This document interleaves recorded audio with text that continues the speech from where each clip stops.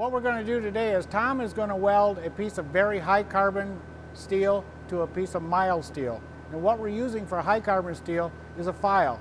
We know a file has um, about 1.7% carbon, which is very brittle. They break, they're very hard. And the theory here is we, if we can successfully weld a high carbon file to a piece of mild steel, then it would make sense that we can weld anything, any grade of steel in between there. And he's going to use a 4400 uh, AS, all steel. Vulcan's 4400 AS. And what he's going to do is he's going to lay it on this right between the file and the steel, and he's just going to lay it there and let the rod burn. Let's see what happens. Go ahead, Tom.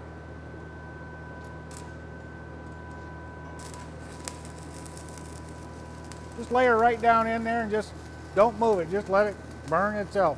Lay it down more, Tom. Lay it down. Lay her down. There you go. Lay her right down there.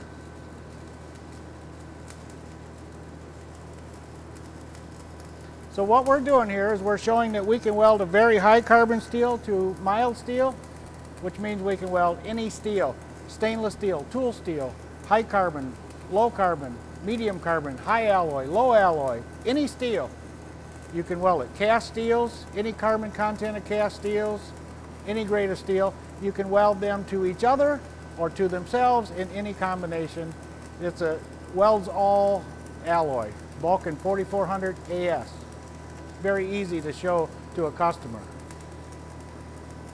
That's good, Tommy.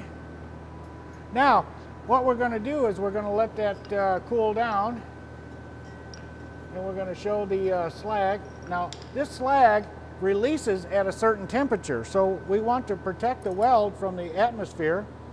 So, see there? Just don't, don't beat it off right away, just let it cool down and let it do its thing. What we're going to do is we're going to give this the old hammer test. We're going to try to beat that file off that piece of steel. We're going to do it in the weakest way. We're going to hit it from the back side on a vise.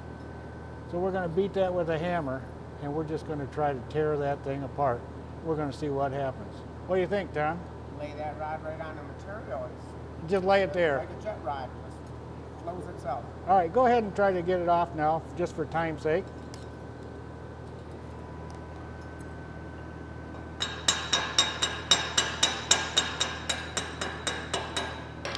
There we go.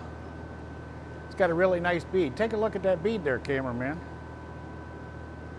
That's where there's no, uh, no motion at all. No, just- it its weld itself. Yeah? Yeah, yeah. All right. Now let's take this over the vise and put the big hammer to it. Okay, Tom, uh, we've got it in the vise here, and Tom's going to start hitting it with this hammer. And what we're going to demonstrate is the weld is soft and strong and ductile, and it's everything you want. The weld has no carbon in it. It's not going to be hard. It's going to be machinable, and we're going to demonstrate that here. Okay? Start hitting her, Tom.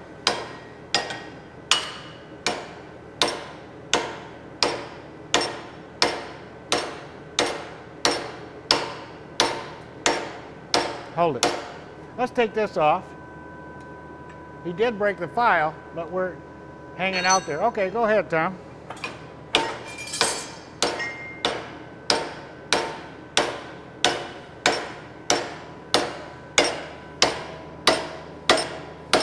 Hold it, hold it, hold it. We got to get it tighter in the vise. It's.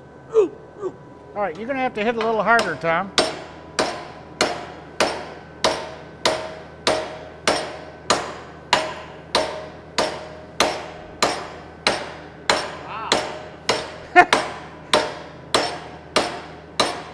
Now, take a second. I want you to, to realize that what's happening is the weld is having elongation, ductility. It's bending over. It's not hard. It's not cracking. Uh, it's certainly taking a punishment. And this is what happens when you weld your parts together. If you want them to stay together, you really need to use 4400 AS for all steels and, you know, just have a little bit on hand just to, uh, when something comes up and you want to make sure it really holds. Or you don't know what it is. You just know that it's you don't know what the steel is or it's broke before, put this on it and see what happens. Go ahead, Tom. Hit her some more.